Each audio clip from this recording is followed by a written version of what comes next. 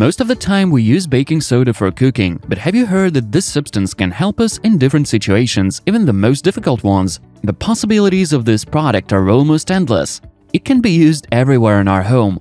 In today's video, we're going to tell you about some baking soda tricks every woman should know. Can clean your jewelry.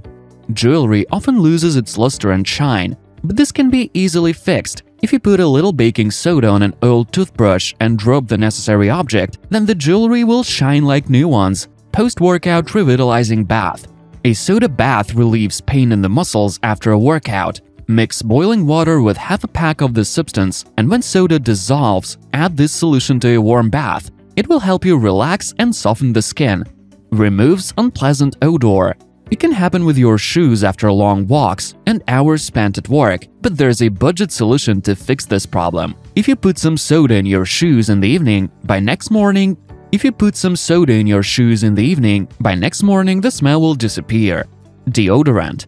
In case you suddenly run out of store deodorant, use baking soda. Just apply a pinch to your underarms. Cleans fruits and vegetables.